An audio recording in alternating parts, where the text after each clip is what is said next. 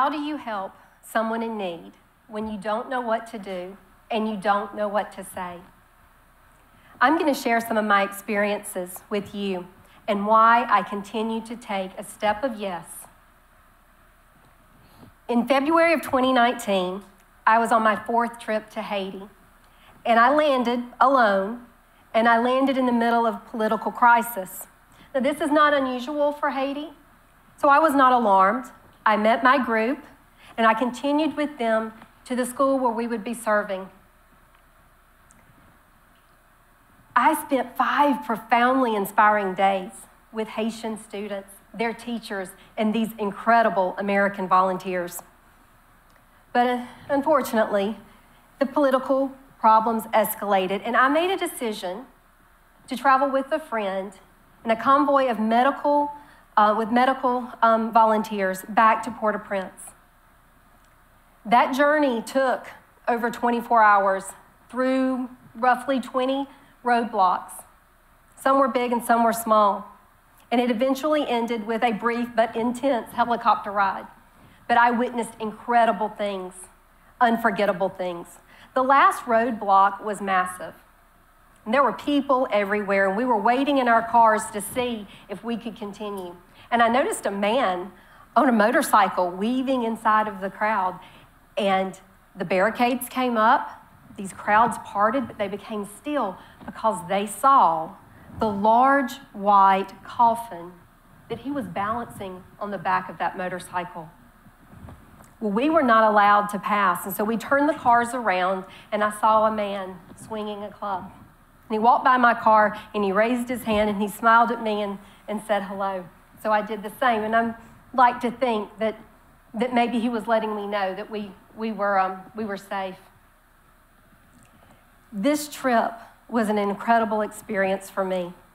We had been through, um, we had gone off road through these, these riverbeds. There were roadblocks where there were tires on fire on one side and kids were playing soccer on the other.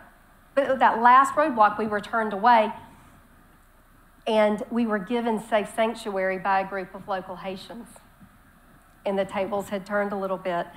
I was the person in need.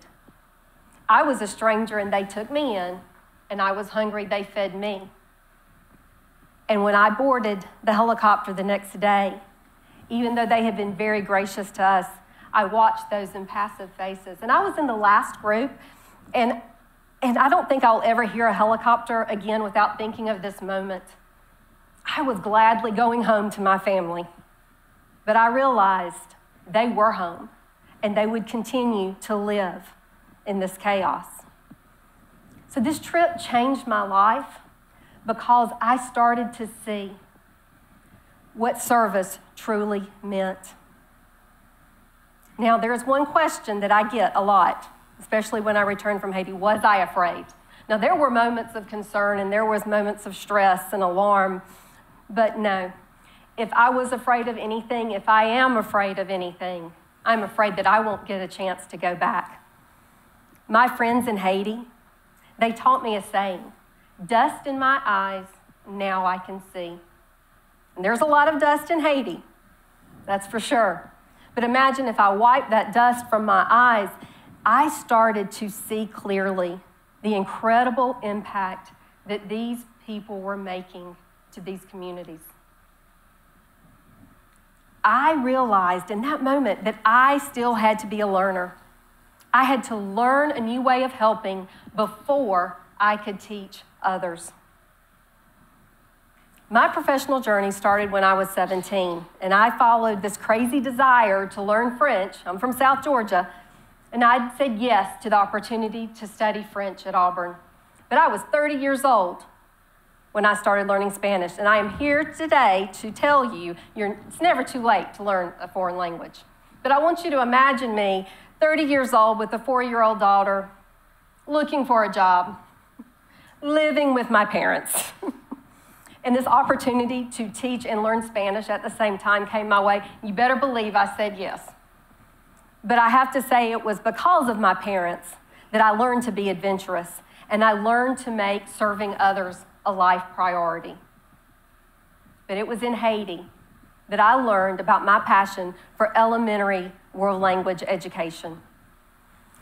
I had been traveling to Haiti for many years, and it was on that first trip, many years before, that I was a high school teacher and I was hoping to serve some way. But these two girls came to me and they had their little notebooks. And they came to me with their notebooks and they asked me in French to teach them Spanish. Well, I was fascinated because they already spoke Creole, they spoke French, they were learning English, and now they wanted to learn Spanish. Well, that's because they wanted to get jobs one day in the Dominican Republic. So I came back to the States with a new desire to learn everything I could about world language education. So I am so passionate about this that I even did a research project on it. And I asked lots of volunteers, they were local and international, about what helps, but what's hard when it comes to serving in host communities. And this is what I learned people want to match their strengths and their talents with these opportunities to serve. They want to match their strengths and their talents, but they also want a personal, transformative experience. They want it to mean something to them as they're helping others. And that tells me it's about relationships. And the relationships, that is the key to teaching my students. And when I take that back to the classroom, my students understand that they have to learn how to identify a need and then they have to learn to meet that need. My students created an international festival for the students in Haiti. So that trip where I landed in the middle of a political crisis, I had three suitcases full of supplies, and they were not going on the back of a, of a motorcycle, even though my friends tried. um, so we had tri-boards, and we had banners and activities and puzzles. We had two containers of churros that I had made and uh, several bags of Chinese fortune cookies. And the educators that I was traveling with, one of them brought a green screen. So we placed students in front of the Eiffel Tower.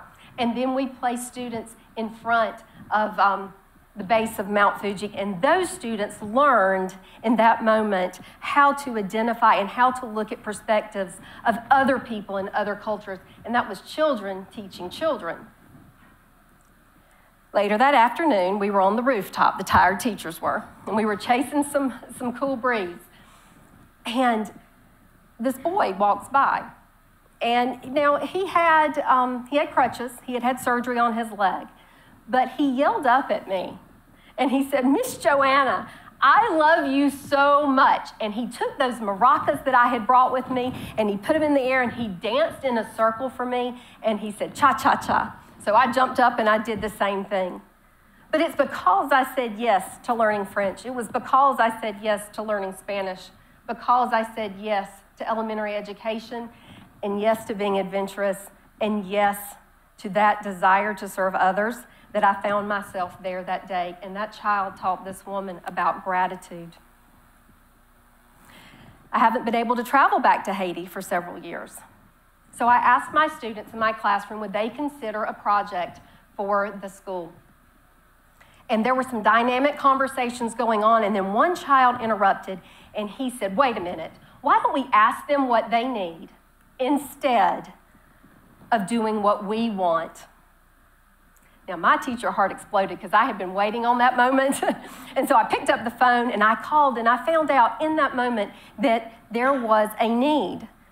There was a need to, to um, provide funding for a summer nutritional program. And while we couldn't travel, my kids said yes. Imagine if we all said yes to those moments.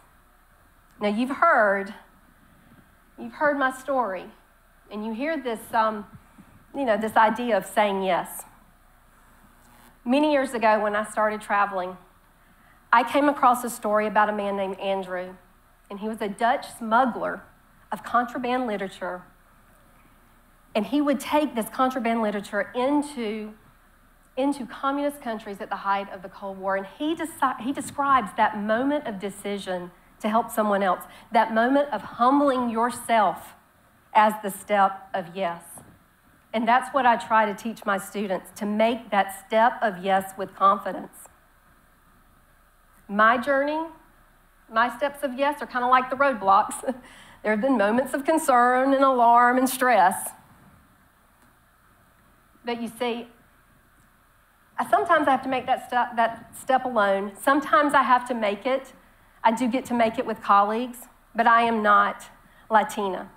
I'm not Haitian. I'm not French. I'm not even Canadian French. I'm just one person who sometimes has a desire to make a step of yes. So let me leave you with this service does not have to be international to be impactful, and it does not have to be meaningful. I mean, it does not have to be complicated to be meaningful. And service, you don't have to see an immediate visible effect to actually know that there's a lasting impact. I continue to make a step of yes. And I've thrown a lot of dust in your eyes tonight. I know that. But I hope that when you wipe that dust away, and the next time you are confronted with an opportunity to serve someone, but you don't know what to do and you don't know what to say, that you will make that step of yes and you will ask the simple question What do you need? Thank you.